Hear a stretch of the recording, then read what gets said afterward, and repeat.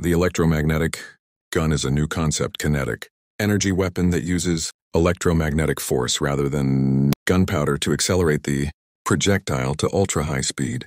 It is mainly composed of three parts, energy, accelerator, and switch. In simple terms, you can understand it as an electric trebuchet or electromagnetic slingshot. Today, Brother Zhang will talk about his core principles and main types. First, the electromagnetic railgun, which is currently the most mainstream and fastest growing type. Its principle is to use two parallel metal rails as cannon tubes, with a sliding part called electric transmission, located between the rails. When launched, a huge current of 1 million amps is instantly passed through. The current flows through one rail through the electric transmission, and then returns from the other rail.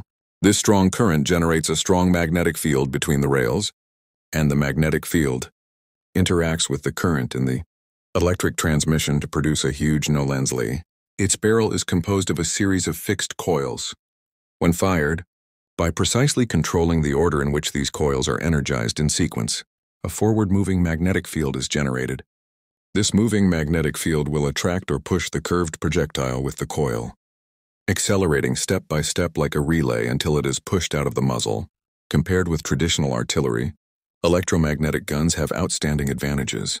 First, they are extremely fast, can accelerate the projectile to thousands of meters per second, and the maximum test speed is 10.1 kilometers per second, which is about 30 times the speed of sound, far exceeding the traditional artillery. Range period, the current test range has reached more than 160 kilometers, and the target is more than 200 kilometers, which is 10 times that of traditional naval guns. Third, the power is huge and the cost is low relying on high-speed kinetic energy to penetrate the target, and no propellant is required. The shell structure is simple, and the cost of a single shot is much lower than that of a missile. Fourth, the launch is concealed and flexible, with no flames, smoke, and loud noises during launch, and good concealment. At the same time, the launch energy can be flexibly controlled by adjusting the current.